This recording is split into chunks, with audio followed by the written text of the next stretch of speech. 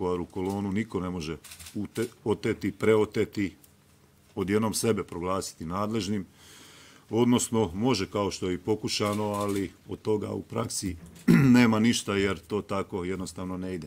Ne mogu ja sad doći u vašu kuću i reći e, sad je to moja kuća. To je jednostavno nešto što nije ni fair, ni pošteno, ni, ni, niti to ide tako u životu. Nadam da je poruka dovoljno jasna svima koji su to pokušavali da, da odstupe od takvog, takve prakse jer e, neće biti dobro ni za koga u tom slučaju, jel?